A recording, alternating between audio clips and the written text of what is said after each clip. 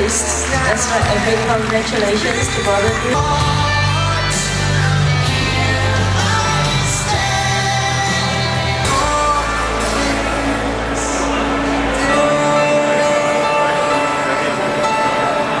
dinner time, right? Alright, I now announce that dinner will be served and please enjoy your meal. Love is in space.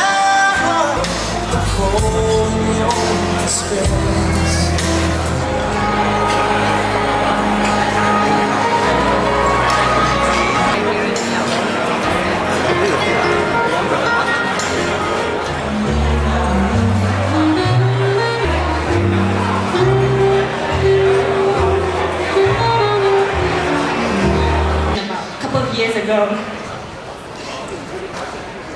the that time, she and Alan had just got together, been together for about two years.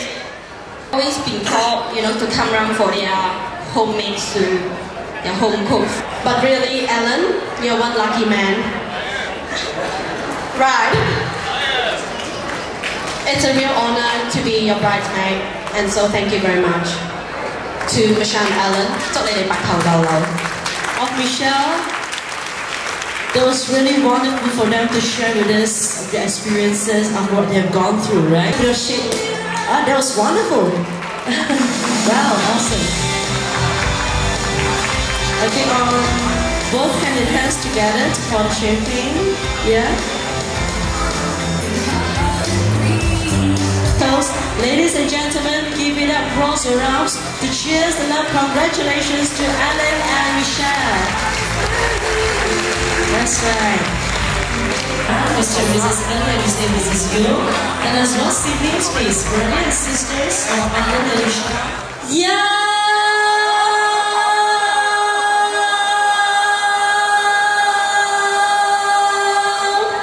Sing!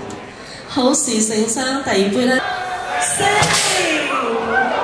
Congratulations once again to Alan and Michelle and to all family members. I feel like I was being rewarded the Lifetime Award. See, like in Grammy Awards, Music Emmy Awards.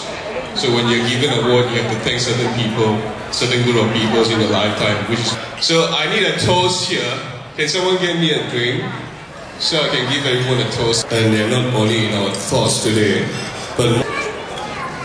Ladies and gentlemen, more girls seem to marry men who happen to be like their fathers. Maybe that's why so many mothers cry at weddings.